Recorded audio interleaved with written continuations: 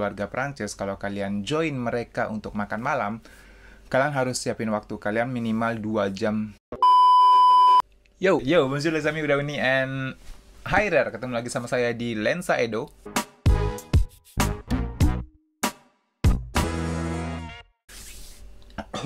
Kalian bisa juga follow saya di Instagram. Ini titik e edo, jadi ada dua e.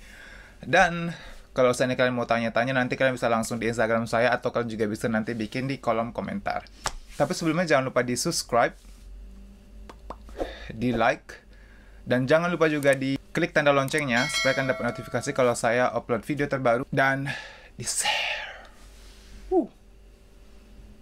Saya sudah di Perancis selama lima tahun. Ini adalah tahun kelima saya di Perancis dan saya baru lulus S2 dan sekarang ini saya lagi cari kerja dan lain-lain. Hari ini saya nggak akan bahas tentang saya kuliah, tapi hari ini kita akan bahas tentang budaya Perancis yang waktu awal-awal saya sempat kaget, saya sempat merasa aneh dan waktu saya baru tiba di Perancis. Buat teman-teman yang baru datang atau baru belajar bahasa Perancis, mungkin kalian bisa tahu video ini dan bisa kasih kalian gambaran tentang bagaimana orang Perancis itu di kehidupan asli. kehidupan asli. Ya, jadi saya akan bahas tentang culture shock. I hate to say that in English though. Saya akan bahas tentang kebiasaan kebis ke kebiasaan kebi kebiasaan kebiasaan orang Prancis yang menurut saya something like that. You know what I mean? So, let's get started. Ini saya Pak alami waktu saya di Tulus.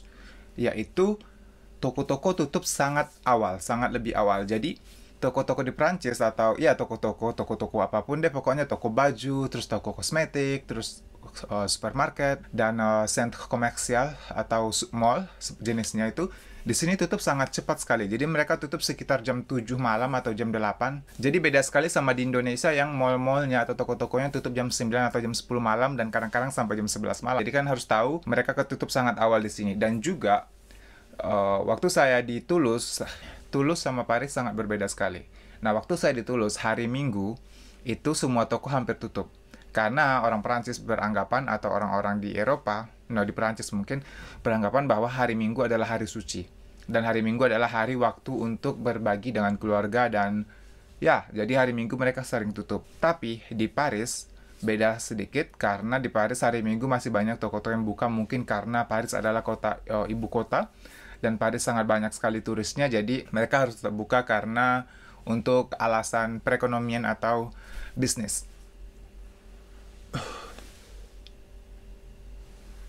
Ya, terus yang kedua, nah ini kalau saya akan pernah ke Prancis, kalian akan paham sekali karena orang-orang di sini suka ngeluh. Ngeluh dalam artian di berbagai kesempatan. saya nggak bikin video ini untuk menjelek-jelekan orang Prancis, cuma hal inilah yang saya dapat atau yang saya impresi pertama yang saya dapat kalau seandainya saya pikir orang Prancis karena mereka suka ngeluh. Contohnya dalam antri deh contohnya. Jadi mereka tuh suka yang ngeluh kayak you know, kalau orang Prancis sering sekali pakai muka seperti ini dan kadang-kadang kalau mereka nggak mau jawab sesuatu mereka kan mulai je ne sais pas moi atau uh, something like that. Jadi mereka suka sekali ngeluh, mereka suka sekali yang pokoknya nggak senang, mukanya nggak senang. Jadi ya ini adalah salah satu kebiasaan orang Perancis yang menurut saya lumayan uh menyebalkan. Nah, tapi di samping itu mereka sangat suka komplimen. Ya, mereka sangat suka kali dipuji. Contohnya gini nih, teman saya, kalau saya bilang, wow hari ini kamu cantik sekali, atau wow bajumu bagus sekali, atau aku saya bilang, uh, Cie, kamu punya lipstick baru ya? Atau sejenis seperti itu mereka sangat mereka kan sangat yang ah merci beaucoup uh, ah oui uh, c'est cadeau d'anniversaire something like that. Jadi mereka sangat suka. Jadi mereka sangat suka sekali dipuji dan dan beda sekali dengan orang Indonesia. Kalau seandainya kita dipuji kita yang selalu pikir oh enggak ini biasa atau oh enggak ini baju lama kok. Oh ini bajunya murah kok jadi nggak usah. Jadi sangat berbeda sekali. Jadi orang sini suka dipuji Anyway, mereka bebas mau ngapain. Ada lagi salah satu yang paling ekstrim juga yaitu labiz. Labiz adalah kalau orang Indonesia bilang cipika-cipiki. Jadi cium pipi kanan dan cium pipi kiri. Orang Prancis melakukan labiz dengan semua orang. Dalam artian semua orang yang mereka baru kenal. Dan kalau kalian perempuan bertemu dengan laki-laki, walaupun kalian nggak kenal, kalian akan langsung pakai labiz immediately. Kalau nggak, mereka kan yang aneh sekali dan nggak sopan untuk mereka.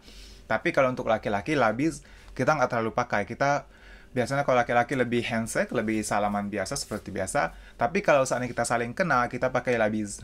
Dan uh, itu sangat kalian akan lihat di mana-mana. Dan saya ingat sekali teman-teman internasional saya, mereka selalu berpikir seperti ini. Kalau seandainya kita di satu tempat, terus kita ketemuan sama teman-teman dan di sana ada sekitar 10 orang yang sudah datang duluan dan kita yang terakhir atau kita mungkin beberapa yang sebelum terakhir dan kalian pikir bagaimana susahnya kalian harus bikin labis untuk semua orang satu-satu dan kalian akan mengelilingi satu-satu untuk bikin labis.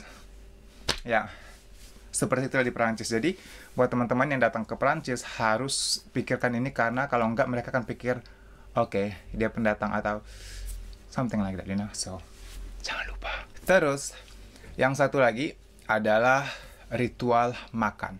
Jadi, di Prancis itu kita suka makan, jadi seperti kalian tahu, ada makan pembuka, makanan aslinya, dan makanan penutup. Indonesia itu bukanlah salah satu ritual mutlak yang harus kita lakukan, karena pada dasarnya orang Indonesia lebih makan langsung ke makanan aslinya dan kita selesai. Tapi orang-orang di sini mereka benar-benar sekali, suka sekali ambil ma makanan pembuka seperti starter, seperti salad kecil. Habis itu kan mereka akan makan dan nanti akan ada makanan penutupnya. Dan mereka makannya sedikit tapi ya dengan dengan ritual seperti ini. Dan orang Perancis juga kalau seandainya kalian pergi ke suatu keluarga Perancis, kalau kalian join mereka untuk makan malam, kalian harus siapin waktu kalian minimal 2 jam sampai 3 jam untuk makan. Karena mereka makan sambil bicara terus sambil ya ada konversasi konversasi? Ya ada pembicaraan terus ada topik yang dibahas. Beda sekali sama di Indonesia kalau kita makan kita nggak boleh bicara. Saya ingat sekali orang tua saya selalu bilang makan makan dulu bicara nanti atau makan makan dulu atau nonton TV nanti jadi orang Perancis ambil makan yang sangat lama sekali dan orang Perancis mereka nggak akan makan di di luar jam makan dalam artian kalau seandainya makan pagi atau sarapan itu sekitar jam 9 jam 10, mereka nggak akan makan lagi nanti sekitar jam 11 12 atau jam 1. Mereka akan makan siang.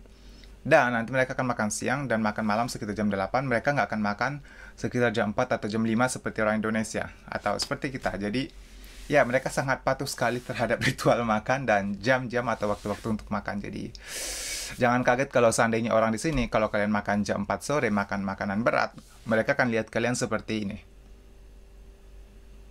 something like that so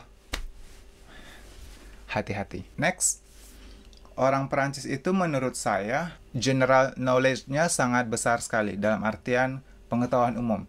Jadi gini orang Perancis mereka sangat respect yang samanya museum terus uh, pameran pameran galeri foto atau dan lain-lain.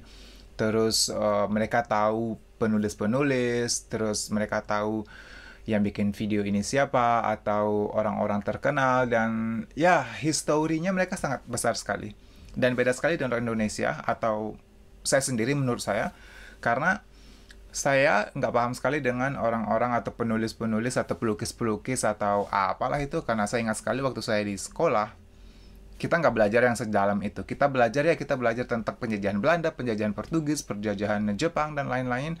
Tapi kita nggak yang sampai detail atau atau atau kita nggak akan pakai untuk kehidupan sehari-hari. Kita cuma pelajari untuk ujian dan jadi kita bikin selesai. Tapi orang-orang di sini mereka sangat respect, mereka sangat antusias atau menarik tentang sejarah dan museum dan lain-lainnya. Jadi jangan merasa aneh kalau seandainya kalian suatu hari sampai di Perancis terus kalian yang kayak kok kamu tahu? Jadi ya beware. Orang Perancis sangat suka bersosialisasi. Jadi di Perancis itu, apalagi di musim panas atau spring seperti sekarang, orang-orang mulai uh, melakukan yang namanya apero. Apero. Ya, seperti itu. Apero itu adalah minum-minum di sore hari saya nggak bisa nggak tahu bilang minum-minum atau apa tapi itu uh, ya minum-minum sama teman di sore hari sekitar jam-jam 4 jam 5 sebelum makan malam jadi mereka suka yang nongkrong-nongkrong di contohnya di di tepi sungai, ya di tepi kali atau di taman dan lain-lain. Nanti saya akan bikin video. Saya rasa saya ada beberapa foto atau video tentang saya lagi APH sama teman-teman saya dan orang Perancis sangat suka ini sekali. Mereka sangat suka ini sekali dan bisa menjadi salah satu kegiatan khusus atau continuous kalau seandainya di musim-musim yang lagi ada matahari. Ya, piknik. Orang Perancis sangat suka piknik dan orang Perancis sangat suka matahari, jadi mereka cari matahari bukan seperti kita yang kalau ada matahari kita akan tutup. Jadi yang terakhir, yang terakhir buat hari ini karena saya akan seperti saya bilang saya akan bagi video ini menjadi dua karena akan panjang sekali. Jadi yang terakhir adalah toilet orang Prancis. Sebenarnya toilet orang Prancis sama dengan toilet orang-orang luar negeri. Ya, tahu kalian yang pakai flush. Dan di sini pakai flush tapi kita nggak seperti yang di Indonesia yang ada semprot-semprotannya. Jadi di sini cuma ada flush dan kalian mau nggak mau harus pakai toilet paper atau tisu toilet. Dan untuk sebagian orang, kalau saya jujur saya sudah kenal sistem ini dari dulu. Dan saya bukan big fan atau fans berat untuk sistem ini, tapi saya sudah mulai atau lumayan terbiasa dengan kegiatan ini.